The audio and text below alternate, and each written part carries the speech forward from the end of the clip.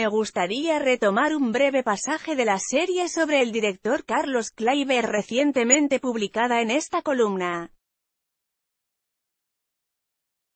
Es una escena de la película Estoy perdido para este mundo, el ensayo de la obertura de El cazador furtivo de Weber que Kleiber realiza con la orquesta de Stuttgart. El ataque inicial no lo convence, por lo que el director pide a los músicos que oigan al otro. No entren, dejen que empiece el colega. Quizás él adivine dónde. Los músicos se miran extrañados, y Kleiber agrega, cuando vean que han entrado los más valientes, los demás pueden entrar silenciosamente e ir creciendo. Las explicaciones de Kleiber por lo general son más metafóricas que técnicas, el director habla más de actitudes que de notas. Newsletters Clarín Tal vez lo que Kleiber pretendía era un comienzo sobrenatural o misterioso, en consonancia con el tema de esta ópera fundacional del romanticismo alemán. No todo siempre se arregla con un pianísimo. Tal vez Kleiber buscaba efectivamente un comienzo escalonado, no sincrónico. La naturaleza de ese inicio de algún modo lo permite, ya que es una misma nota tenida durante los cuatro tiempos del compás por cuerdas, oboes, clarinetes y fagotes. En el tempo adagio de la introducción, ese compás dura unos 6 segundos, lo que proporciona una buena plataforma para que los músicos vayan entrando según su intuición.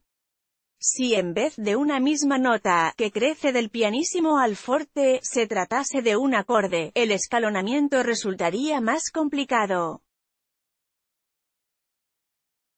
Ahora bien, habiendo una única nota en juego, ¿cuál es el problema de una entrada ligeramente escalonada, no sincrónica, no estrictamente vertical? El verticalismo o la alineación extrema no solo es indeseable en la política, tampoco es un principio al que la música deba ciegamente obedecer. De hecho, de unos años a esta parte un grupo de músicos y estudiosos no ha hecho más que ponerlo en crisis, al punto de que puede hablarse de una auténtica crítica de la verticalidad. En la música la noción de verticalidad remite en primer término a la sincronicidad, pero puede extenderse, horizontalizarse, a la noción de uniformización. El director de orquesta argentino Hernán S.C.H. Bartzman es uno de los activistas más lúcidos de este movimiento.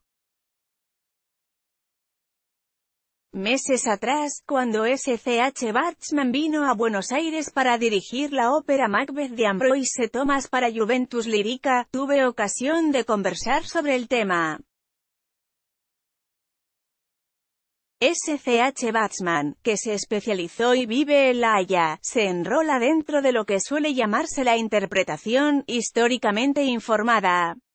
Pero las fuentes de SCH Batsman no son tanto los documentos escritos como los auditivos.